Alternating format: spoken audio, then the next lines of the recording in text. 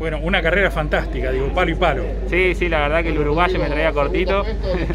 Por suerte no me equivoqué, hice las cosas bien, iba concentrado y gracias a Dios se dio el triunfo. Pensar que te viniste solo en el colectivo, eh, desde Catriel, con un amigo, Sí, sí, y, siempre. y hoy te llevas una victoria realmente fantástica, ¿no? Tal cual, tal cual. Siempre hacemos lo mismo con Helio, me acompaña a todos lados. Venimos en el colectivo, eh, la verdad que cambié de equipo y el auto pegó un salto gigante.